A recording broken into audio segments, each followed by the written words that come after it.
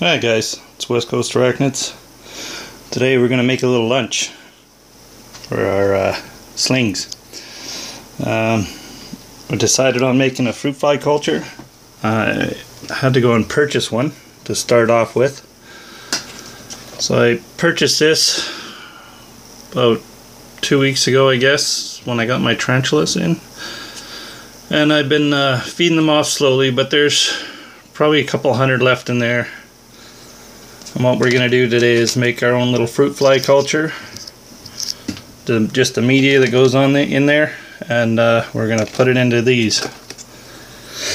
And with the uh, leftover fruit flies, we're going to use them to, to start the uh, flightless fruit fly culture.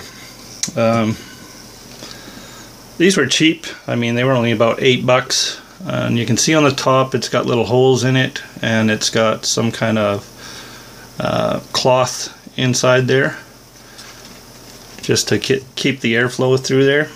And what I've done is I've just replicated it like this. It's got a screen. I've taken two lids. And what I did is basically I cut the outer lid off like this the hole inside. Then I cut a hole in the middle so I had a donut. And then I placed the cloth over it and put that over top and then I hot glued sorry about the shakiness. I hot glued the uh, the center circle and the outer circle. I'm just gonna put this up here so you can see better.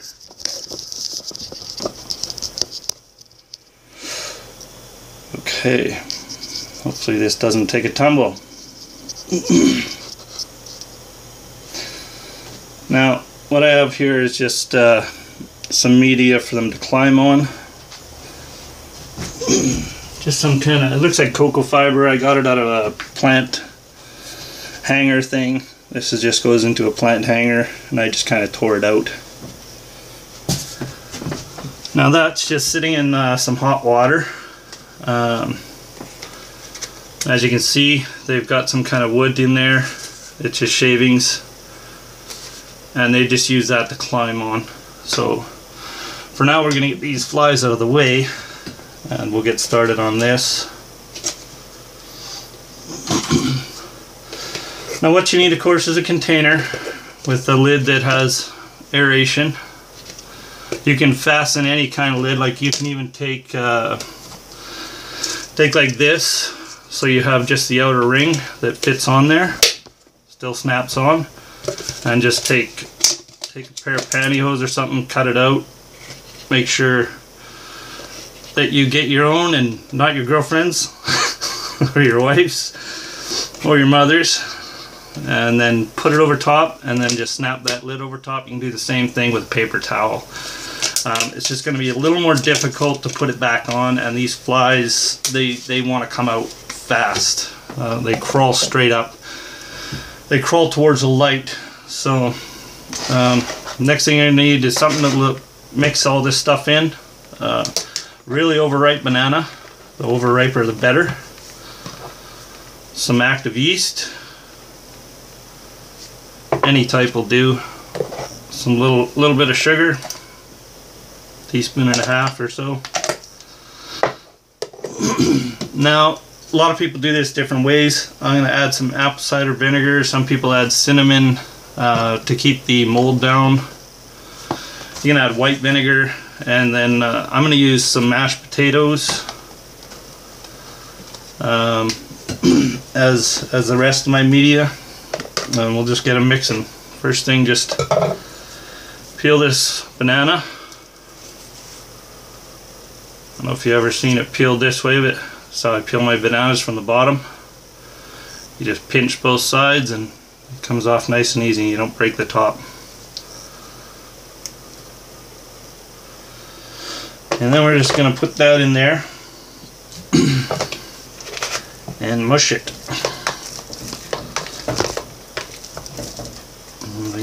I'm going to knock everything over if I do it there.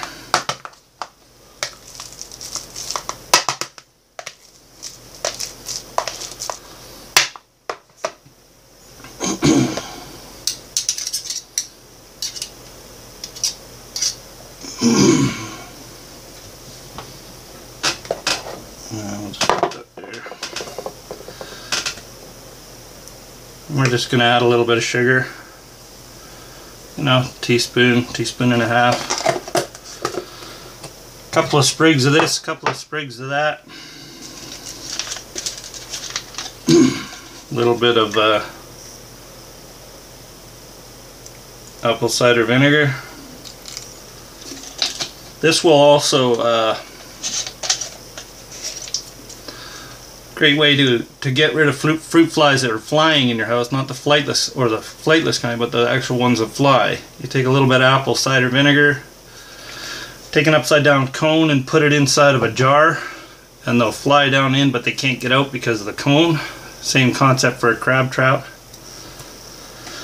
and then because they're really attracted to that apple cider vinegar I don't know why. Maybe it's the fermented apples uh, uh, another thing in here, um, applesauce will be good. It's already got sugar, it's got cinnamon in it. Um, then we're just going to mix this up a bit.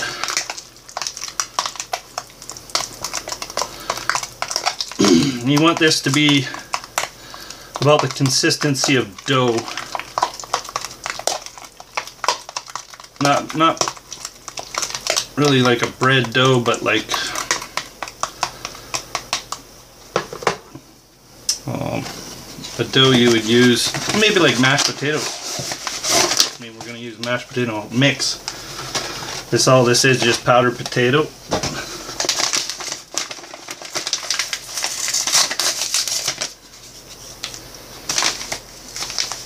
And we're just going to add some of that in. Now that's just flaked.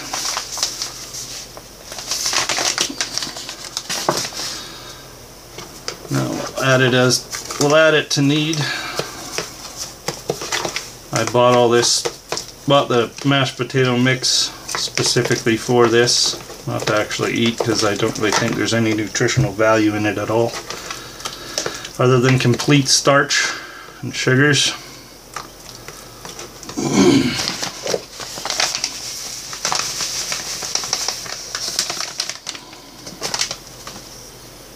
And this here Nice bottle of vodka. I mean, it's just hot water. Just put a little hot water in there. That was literally boiled uh, two minutes before starting the video. So probably kind of hot.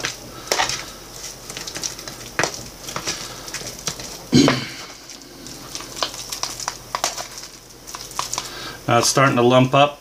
You know, you can take it and it, it's not falling off the spoon anymore. That's good. kind of the consistency you want so that, you know, it's not wet. Um, when your fruit flies go in it, you don't want them to drown in the media that you're making. So that's perfect. and then take a little bit of yeast. You know, just a little bit. What you want to do is literally kind of just, well, what I'm going to do is I'm going to take about half of this, sprinkle it in. The other half I'm just going to leave it in the lid here for a minute. You don't want to pour that back into the jar because that will uh, ruin the yeast inside. Once it's touched your skin, it's got moisture on it and yeast is uh, activated with moisture and that would kill the whole culture in there. So once you've got that you need your little container use the other one this is the one I washed I want to kind of wash up everything stir this uh, yeast into the mixture. That little bit of warm water there, I'm actually going to add a little bit more because it's kind of lumpy. So add just a bit more water. And that warm water will start that yeast, yeast, yeast activating.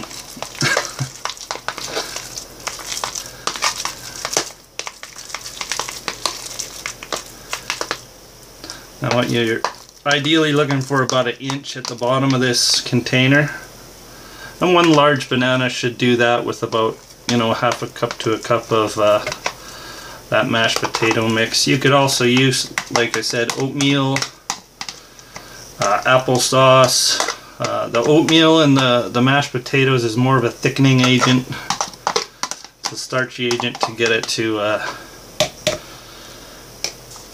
to stand up like this. Now you need to mash that down to the bottom. Get it in there, get all the air out.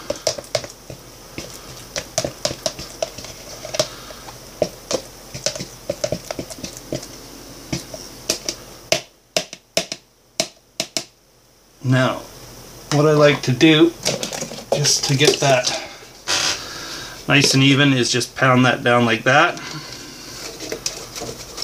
There you go.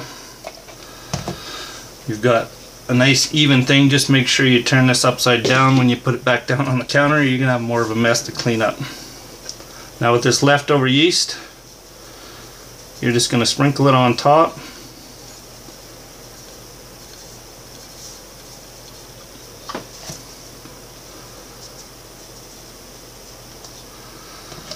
Just like that. You don't need a whole ton. Let's get you down there to see. So it just looks like that. It just looks like a little bit of powder on top. You know, it's not completely covered.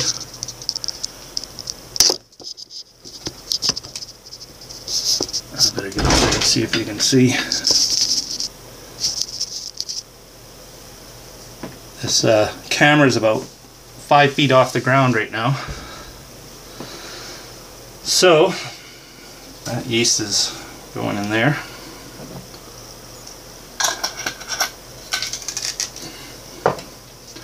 I have to vacuum yeast all over the room.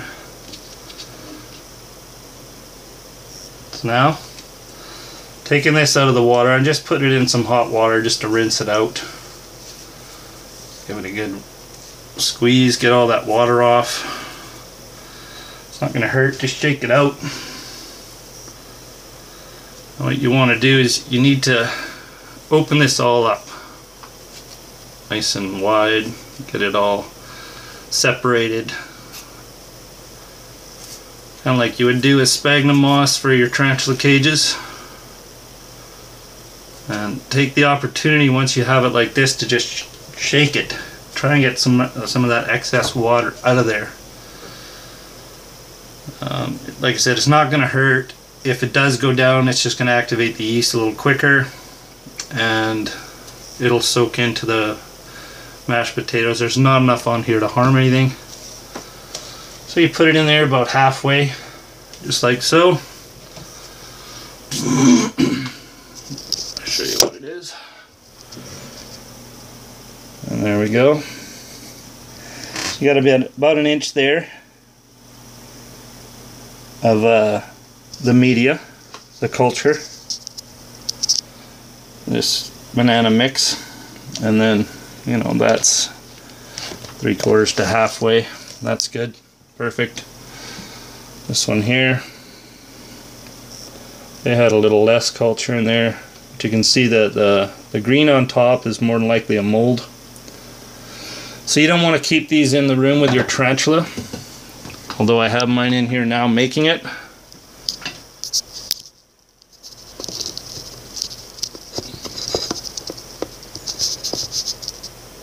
but I don't think it's going to uh, actually transfer in there as it's uh, a mold that's growing directly on that substrate of that the banana mix and it probably won't survive in uh, your tarantula cage unless you you know put sugar and stuff in there. It's probably a different type of mold altogether like bread mold kind of thing Now, you constantly have to tap these. Once they're open, you'll see right away what I mean. Let's get this light on here. And we'll pop the top. And you can see the first thing they want to do is go up. So just tap and they'll go back down. They'll, it'll knock them back down. So what you want, just keep tapping and they'll fall out. You can see them falling into there. Now you got a top two of them. you get about 50 in there or so to get a good culture started.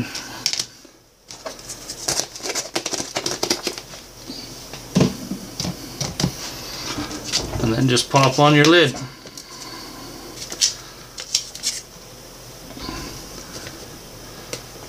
Got a little water in the lid. And we'll, uh, there is your fruit fly culture. Now in about a week, what you'll see is uh, almost little worm-like creatures or slug-like creatures crawling up the, from the bottom. Don't be alarmed. Those are your uh, larvae of the fruit fly. And about a week after that, maybe a week to two weeks, you'll they'll start hatching all over the place, and you should have tons. Now keep this in a room temperature area. You know you want it about 70, 70 to 80 degrees. Um, whatever you know if you're keeping your tarantulas at that that's perfect but like i said don't keep them in the same room as your tarantula. Um, when you go to feed your tarantulas these you can slow them down a bit. If you find that they're getting out on you too quickly just put them in the fridge for oh half an hour or so maybe an hour a couple hours most before you go to feed them and then pop them out of the fridge and they'll be slowed right down. Then you can take them out just kind of tap them out into a cup or whatever you want to put them into and slap a lid on both and there you go. You're ready to feed them out. Now you can feed these to your dart frogs if you have them you can feed them to fish uh, baby tarantulas that's what I'm using them for. So I got tons of little slings now so they're awesome to feed those anyway, that's it. There's your fruit fly culture. These are flightless fruit flies. I'm not sure the scientific name of them. Um, I'll keep you updated on how this is doing. Uh, oh, and by the way, you mark the date. Uh, time's not really necessary, but the day and the month um, on the on the container somewhere, so that you know when the culture was started. They usually last a good once the flies have started about a good month or so, and then you need to you'll see them starting to die off or the numbers aren't so great. Uh, that's when you really need to start another culture. Uh, once you let them die off, you're stuck buying another uh, culture to start a new one. Anyway, y'all take care. Have a great day, and bye for now.